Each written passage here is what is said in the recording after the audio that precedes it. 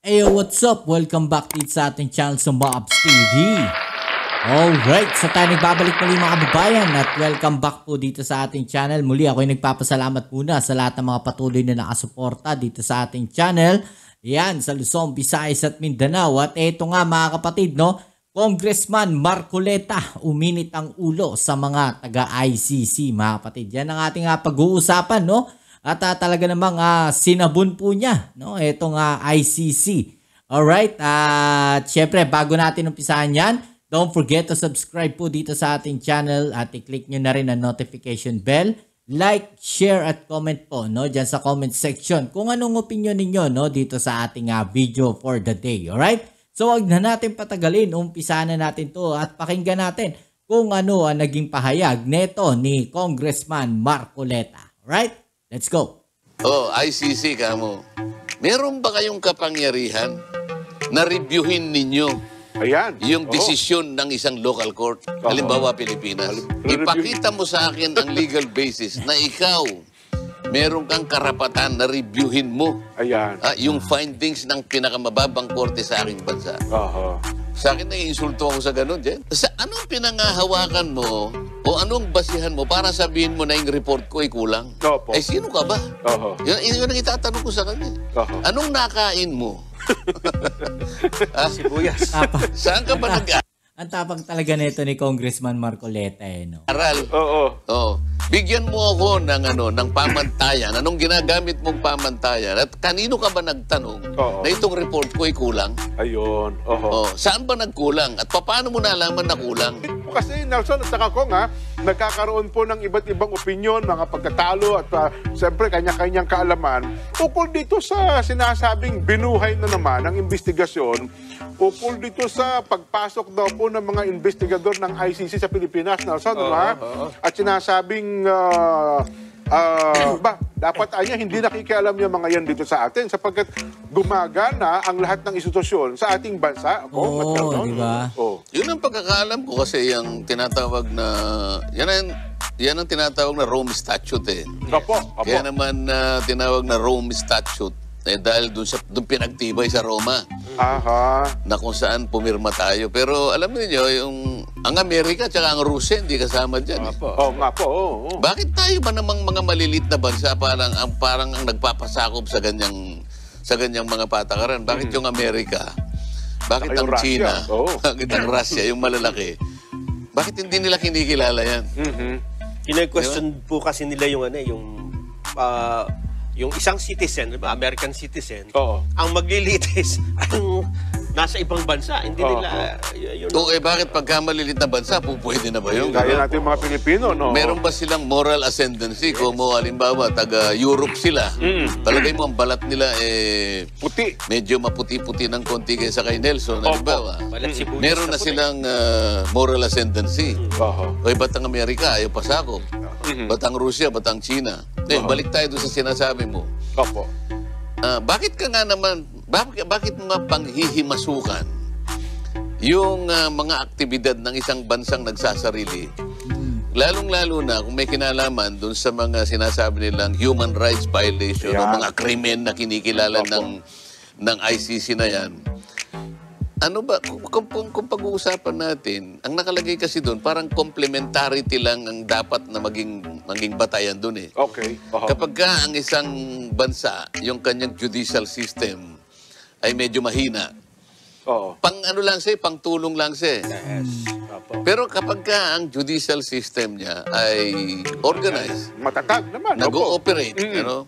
Mula dun sa mula dun sa investigative aspect, yung ating national uh, uh, investigation system na NBI nandyan. Opo. Yung ating national prosecution uh, system nandyan. Ito yung mga piskal, ano? Oho, yan. na nasa ilalim ng DOJ. Yung ating mga korte, magmula sa ka, ka, pinakamababa hanggang sa Korte Suprema, Oo. nagpapa-action naman. Mm. Pagkatapos papasok ka, Mhm. eh, parang hindi hindi talaga katanggap-tanggap. Ayun. Parang, eh, parang walang puwang na pakialaman nila ang isang bansang nagsasarili na may kanya, may kanyang talagang sistema ng judicial system na functioning. Mm, Dahil base nga po mga kababayan no, sa rules ata nito nga sa ICC correct me if I'm wrong po no sa pagkakaintindi ko po na tsaka lamang sila papasok kapag ang isang bansa ay ah, hindi na gumagana yung ah, mga korte no yung judicial no dito sa ating bansa. Pagka hindi na gumagana, that's the time na pwedeng pumasok yung ICC. Diba? So yun po yung pagkakaintindi ko dito. No? Pero dito po sa ating bansa, eh lahat naman po nun sangay ng ah, ah, hudikatura, eh gumagana naman po. Kaya wala silang karapatan na pumasok o manghimasok po no, dito sa ating bansa. No? Dahil ah, talagang ah, nakakapagtaka rin no? dahil ah, isinampa nga po direct No, itong kaso po na alam naman natin, itong nga human rights violation daw di umano ni Tatay Digong, diniretso sa ICC. No, at yan nga ay kino-question at bakit diniretso nila yung pagsasampa ng kaso nila sa ICC, gayon pwede naman nilang isampa yung kaso dito po sa Pilipinas. No? Kaya marami po talagang ah, naguguluhan, di ba? Pero ito ho ipinapaliwanag ni Congressman Marcoleta kung ano po ba talaga yun dapat at kung ano po yun totoo, di ba? Nag-ooperate. Oho. At lalo pa nga, di ba, tayo tumiwalag ganyan, panahon pa ng Pangulong Duterte Kong, di ba? Ano pa ang Oo. kakayahan nila sapagkat wala na tayo dyan, wala sa or- organisasyong ito, ano pa ang dapat nilang gawin para, ano pa ang kakapangyarihan nila para magpadala ng mga investigador sa Pilipinas? Hindi, yung nakaka-insulto pa rito. Oo. Sabi, eh, ang alam ko, humingi ang Solicitor General ng, ilang, ng palugit na panahon Opo. para mag-submit kami ng report sa inyo. Ayun. Eh, di pinayagan naman. Ano? Oho. Pagkaraan ng mga ilang buwan, di sinabit natin yung report. Opo. Yung report na yon ay tumutukoy dun sa kahandaan natin at sa ating ah, kakayahan Mm-mm. na isa ilalim sa investigasyon lahat ng mga pinag-uusapan na kaso ng ganito ganyan. Opo. Lalo na dun sa sinasabi nilang ah, ah, tokhang. ah, Opo, tokhang. oo, yung mga ano. Ngayon, hindi ngayon pinansin ng ano nung uh, ICC yung report. Ah. Para sa sa kanilang panukat, Oo. hindi kanya Hindi ka kulang ang report Ayun. ninyo. Parang sa parang sa tingin nila hindi nakasapat sa aming pananaw Oho. na nakatupad kayo dun sa pamantayan na aming ah, na aming iwinawagayway. Mm-mm. Kulang na kulang yung report niyo. Sa panukat namin, sa tingin namin, eh hindi tama yung inyong... Eh, pa, sa akin, sa akin naiinsulto ako sa ganun din. Totoo nga naman. Pinakuha mo ako ng report tapos nag-report kami sa iyo eh, ayaw mong tanggapin ang katotohanan ng report na ito. Ito, ito, nga, ito, nga, ito nga yun. yung tanong. Mm-mm. Sa anong pinangahawakan mo o anong basihan mo para sabihin mo na yung report ko ay kulang? Opo. Eh, sino ka ba? Oho. Yun, yun ang itatanong ko sa kanya. Oho. Anong nakain mo? Sibuyas. Saan ka ba nag-aral? Oo. Oh, bigyan mo ako ng ano ng pamantayan. Anong ginagamit mong pamantayan? At kanino ka ba nagtanong Oo. na itong report ko ay kulang? Ayun. Oho. Oh, saan ba nagkulang? At paano mo nalaman na kulang? Di ba? Oho. May, Ito, puwer- ito, ito yung medyo mabigat dito eh. may puwersa atang nauna kong eh. Ha? May puwersa atang nauna. Anong Bago puwersa? sila, Ibig sabihin, may, may iba atang taong nauna sa kanila na, nag, na nagsabing ganito, ganyan. Ng kung Ah, ano-ano. hindi. kung Na, ano-ano. nakita ko yung preliminary examination nung ah, yung Bensoda, yung ah, Ah, yung opo. babae. Oho. Alam mo, puro puro clippings eh. Oho. Puro, puro newspaper clippings. Opo. Alam mo, sa ano natin, sa mga batayan natin, dito sa ating domestic law, Ayan. Oho. Kahit na ano pang gawin mong clippings, kapag ang pinag-uusapan, criminal ah, aspect, Opo. hindi po pwede yun eh. Hindi admissible sa korte ata Eh, yun. eh, oh. lahat ng mga clippings, Oo. pinagtatawanan sa korte yan eh. Ayun. Pinagtatawanan sa korte, hindi hindi ka pwedeng mag kahit ilang balloon-boon pa ng, ah, ng mga clippings na pagpatay ng hindi considered na ano yun, na ebidensya. Siya. So ibang level sila eh. Ayun. Lalo pa nga, ang clippings na kinuha kong yung talagang uh, lumalaban sa gobyerno noong mga panahon na yon. Oh yeah, pinipili nila. Mhm. At makikita mo, yung nagre-report sa kanila, eh, puro rappler yata. Eh, Yun na nga po, yun na nga po. Oh. Ay. Anyway, ah, Nelson, anong gusto mong ah, ipunto sa pa- bagay na ito? Ang isa pang- Alam mo naman, justice ka. Ay, hindi. Ito, tinanong ko dyan yung ating artificial intelligence eh. Oo, oo. Kasi halimbawa, ang sabi ng ICC, eh, guilty nga yung mga nasa Pilipinas. Oo. Paghuhulihin yan. Oo. Eh, tinanong ko, meron bang enforcement agency o police force ang Wala. ICC? Oo. Ang sabi dito, no. The Oo. ICC does not have its own enforcement agency Aha. or police force.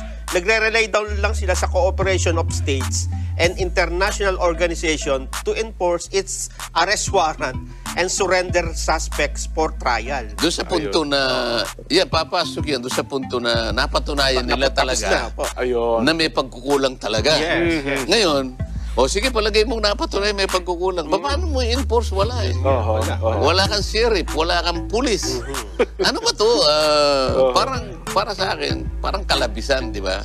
Ang, ang, ang pinaka-importante So parang wala palang kwenta tong ICC.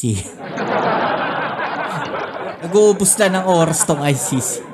Iimbestiga sila tapos di nila kayang hulihin. tanong sa kanila, ganito. Opo. Oh, ICC kamo.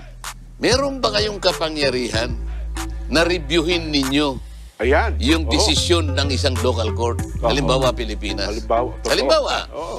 Yun lang yung, yung, reviewin, no? yung MTC, pinakamababang ah, level ng ating judicial system, MTC or MCTC. Oo.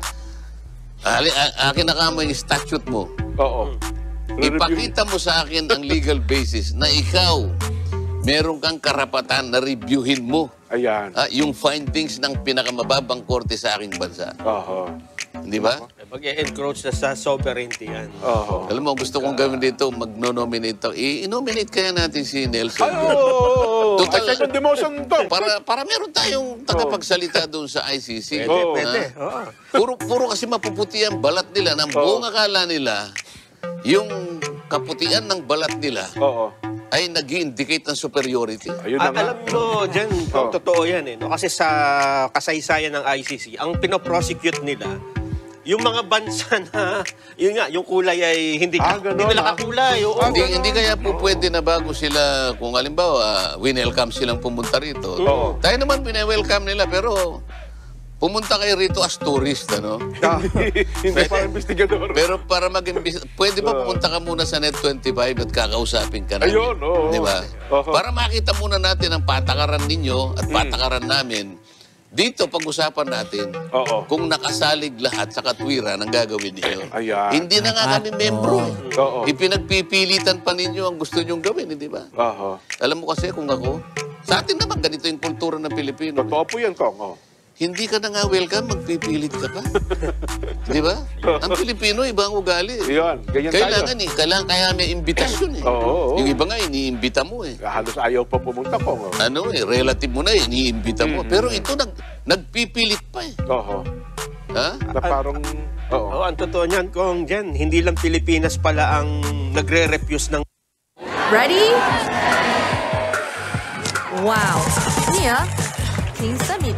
？ng jurisdiction eh. Oo. Sabi dito, the ICC's limited enforcement powers have been a source of criticism and controversy. Oo. And some countries, some, madami, Oo. have refused to recognize the ICC's jurisdiction. Ayun. Talaga palang Talagang ganun. tinatanggihan na nila Oo, ang hindi lang pala jurisdiction. Pilipinas. Hindi ako, ang una kong questionin dyan, yung, ang charge nila sa Pangulong Duterte, Opo. tsaka yung mga kasama niya, di kasama pa si Senator Si Bato Senador rito, Bato de la Rosa, opo. Crime against humanity. Naku, ang tindi. Maba- Kailangan natin pag-usapan itong charge na ito. Opo. Paano, paano napunta, paano naging category na crime against humanity Oo. yung kagustuhan ng isang leader ng isang bansa na linisin niya ang kanyang lipunan. Oh, droga, Lalong-lalo na Mhm. ang kanyang Oh, yan, pagkakaintindi ang ating mga kabataan ng pag-asa ng bansa Oo. eh nakikitang nakas nakaano na sa droga. Wala bang wala bang karapatan, wala bang pananagutan ng isang leader ng bansa na tukuyin niya kung saan ang gagaling lahat ito. Oo. Pagkatapos ko question, sasabihin mo crime against humanity. Oho. Oh. Anyway, Grabe, sagot no? natin ang ating mga kababayan kung uh, doon sa punto na si Senador, uh, Senador ngayon, Presidential Legal uh, Advisor Juan Ponce Enrile, sabi niya, pagpasok sa Pilipinas, arestuhin niya yung mga yan. yun, ang, yun, ang kanyang, yun ang kanyang gustong gawin eh. Kaya- Yun ang ano, jus- may jurisdiction tayo doon. Oo. Oh, parang pumasok parang, sila. oh. parang ganun din ang gusto ko eh. Pero dalhin mo na Parang ano, no? Parang masok sila dito. Oh, trespassing kayo. Huli kayo, no? dito. ah. Di ba, papuntayin natin. Oh. Sabay, sabay aresto. Ayun, ano. Hindi, tanong natin, Kong, tama lang bang, ano, wag nating tanggapin itong mga, ang tawag, investigador ba tawag ito? Prosecutor? Ano Hindi, ba ito? tanggapin natin as tourist. Ah, ganon. Oh, tourist siguro. Tayo tourist. naman eh, tayo naman eh, Baka kinilala bilang isang hospitable nation. Ah, ganun ho ba? With hospitable people. Oo. Di ba? So tatanggapin natin bilang mga turista lang ito, Oo, hindi bilang tu- investigador. Turista na lang muna kayo, kamo. Kikita pa tayo sa kanila kasi gagas turista Oo, eh. oo. Pero yung magsisimula kayo na mag-imbestiga, Oo, oo, oo. eh maghunos dili kayo. Aha. Don't even think about it, kamo. Ayun. Nako, eh di pa. Ano itatanong mo?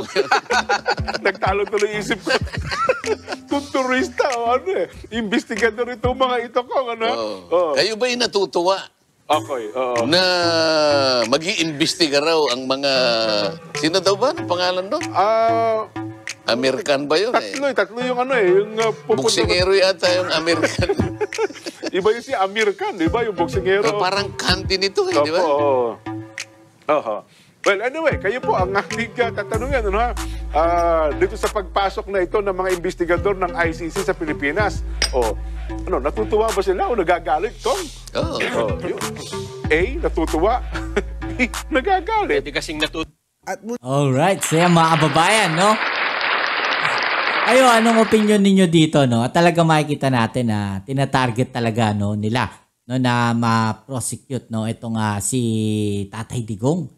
Kaya talaga nagpipilit sila. Gayong ah, hindi naman na pala tayo miyembro ng ICC, di ba? So, so ano, parang lumalabas na wala na kayong karapatan na manghimasok no dito sa aming bansa. Ba't pa kayo nagpipilit? At ang ah, titigas ng ulo ninyo. Yeah? Alright, so yan. Muli maraming maraming salamat sa inyo mga kababayan sa patuloy na pagsuporta dito sa ating channel. At kung nagustuhan ninyo itong ating ah, video ngayon, don't forget to subscribe, like, share, comment dyan sa comment section. At i-click ang notification bell. At kita-kits tayo sa ating ah, next video upload. Dito muli ang Kuya Mobs. It's a Mobs TV. Peace. I'm out.